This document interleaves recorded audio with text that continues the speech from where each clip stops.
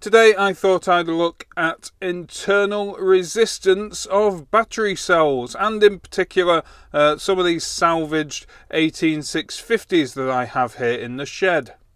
Well, what do we mean by internal resistance? Well, if we take a battery here, well, we can assume in series with the battery there is some resistance. So uh, actually, the battery cell encompasses both these elements because, well, no battery is perfect. But how can we measure this resistance when it's inside a battery cell?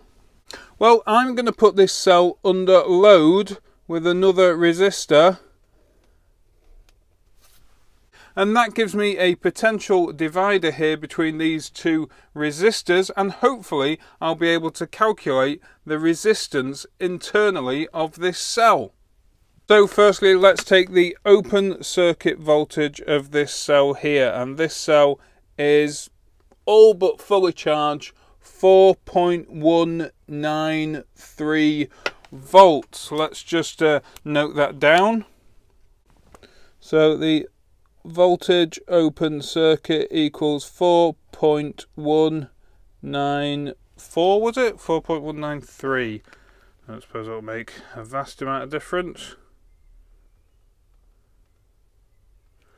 4.193 volts. I've built up this little test rig here. It's a dual holder but I'm only using one side. And as you can see I have a power resistor a 10 watt 5 ohm resistor and that is connected across the well what will be the positive and negative of the cell once I plug that in. So uh, we have a known resistor here 5 ohms but let's just check that first by attaching my leads to each side of this resistor and uh, just turning that to resistance and well, the Vici is saying yes, exactly 5 ohms. So uh, we'll take the 5 ohm uh, resistance value and uh, we'll note that down as well.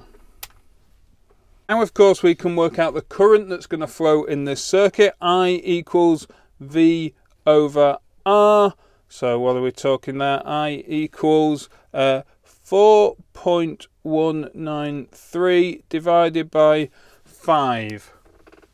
0.193 divided by 5 equals, well, 838 milliamps. But how do we find the voltage drop across this internal resistor? Well, Kirchhoff's law applies. And basically, that law says that the voltage drop across both resistors must add up to the voltage of the perfect voltage source, or the open source voltage of our cell. So now we need to take another measurement, the voltage drop across this resistor here, the load resistor. So without further ado, let's put the cell into the cell holder. And give it a moment to settle down. So the voltage under load equals 4.085 083 083 volts. Okay, so the voltage open circuit must equal the uh, voltage across the load plus the voltage across the internal resistor. So 4.193 volts equals 4.083 volts plus VI VI must equal 4.193 minus 4.083 0.11 volts. So the voltage drop across the internal resistor is 0.11 volts. Now we can just apply Ohm's law again. So the voltage across that internal resistor equals the current times the voltage of the internal resistor, V equals IR. So RI equals VI over I. Lots of I's here, isn't there? So Ri equals 0.11 volts divided by 0.8386 amps and that gives me the grand total that this cell has an internal resistance of 131 milliohms. Now here's the risky bit because I probably should run this test a few times and take some sort of average but uh, I haven't and I'm not going to uh, but I'm going to pit my calculations here against this commercial um, option the IST DT Smart Charger C4 um, and I'm going to do it under the same conditions I'm going to set a discharge going at around 800 milliamps. That's what we had before, wasn't it? So let's give that a go. This uh, charger, discharger, should display an internal resistance there, and oh, 115, 114 milliohms, dropping slightly. So that's not a million miles away, is it? I don't think that's too far away from my calculation and perhaps if I had run this a couple of times I'd be getting somewhere closer to this 110 115 milliohms and of course that's an important point that the internal resistance will change in different temperatures, uh, different state of charges, so different voltages. Uh, that can change quite dramatically. So uh, if you are trying to get an idea of the uh, internal resistance of all your cells, well, you need to do it at the same temperature, the same state of charge, that sort of thing. But actually, I'm pretty pleased with that. I one calculation 131 milliohms, and this is yeah about 115 milliohms. Uh, the ISTD is calculating. So yeah, quite pleased with that. When I was looking into making this video, it became apparent that a lot of people don't like this method and prefer an alternative. But actually, the alternative method seems to be much the same. We still have the uh, cell here and that internal resistor to the cell that obviously we're attempting to measure. And there's also an external resistor of a known value as well that we can connect to this cell. But this method also requires a couple of capacitors, one there and one there. And the cell is actually connected across across an AC source. Oops. A C.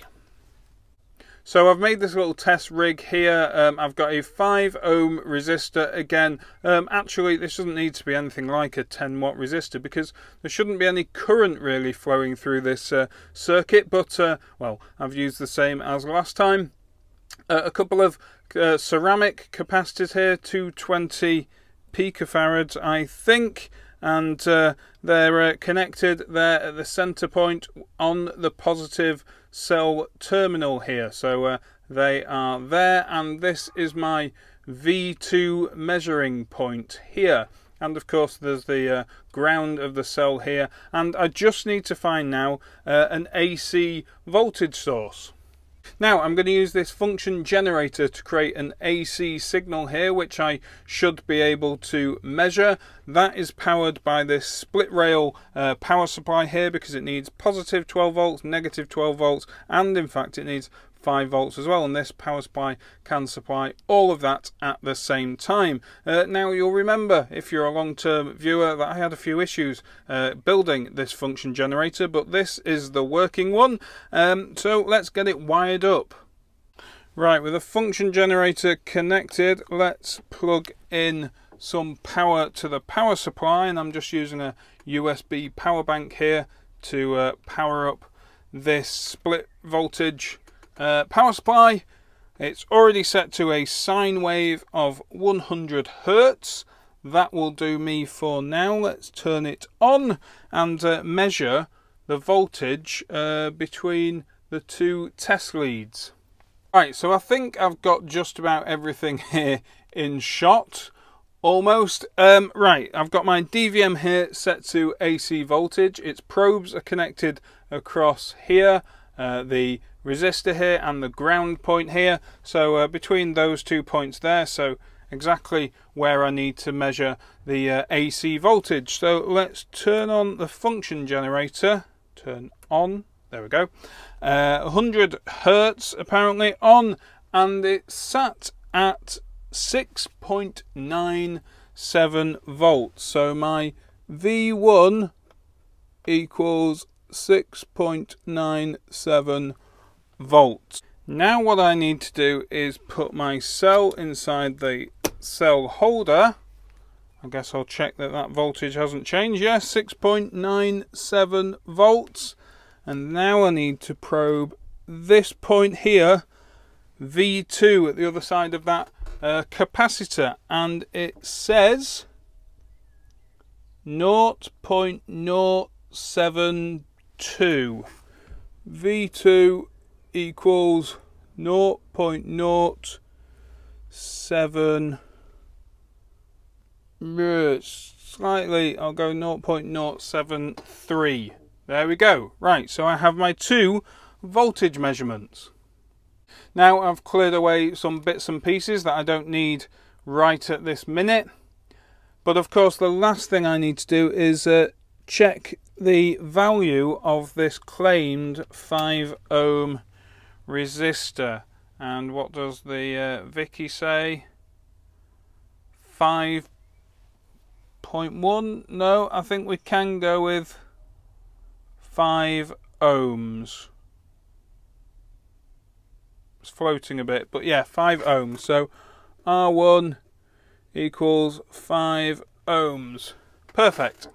Okay, so now we need to use some potential divider mathematics to work out R2, our internal resistance. Well, first of all, V2 equals V1 times, and then it's R2 over R1 plus R2. And we can rework that to R2 equals V2 times R1 over V1 minus V2. So R2 equals V2, which is 0.073, times R1, which was 5 ohms, divided by V1 6.97 minus V2 0.073. So 6.97 minus 0.073 equals 6.897. We'll add that to the memory.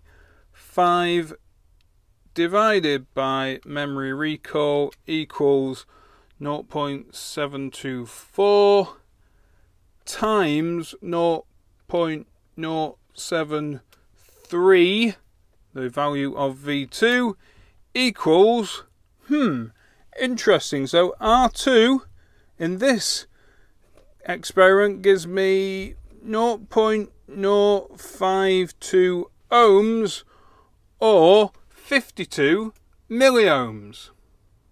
Now to check my maths this time I've had to go out and buy an internal resistance meter that uses the AC method here and this one claims that it does uh, and who am I to disbelieve those claims. It comes with a set of probes here which are double probes which also retract I guess to get the same pressure connection each time. They're actually pretty sharp.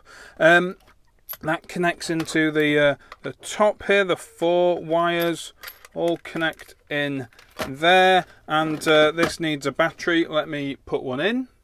Right, so I think I've got everything in place just about to do the test. Let's press and depress those prongs into the cell and do the same on this side and that's reading quite a bit higher than my measurement down there which was what 52 milliohms? This is well it's double isn't it?